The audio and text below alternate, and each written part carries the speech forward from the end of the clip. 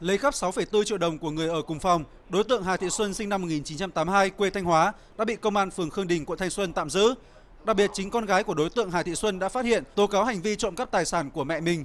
Sáng 26 tháng 8, lợi dụng lúc bà Đỗ Thị Nũ không có ở trong phòng, đối tượng Xuân đã nổi lòng tham lấy số tiền hơn 6 triệu đồng trong chiếc ví rồi mang đi giấu. Sau khi tiếp nhận thông tin trình báo, công an phường Khương Đình đã tiến hành điều tra xác minh và trả lại tiền cho người bị hại.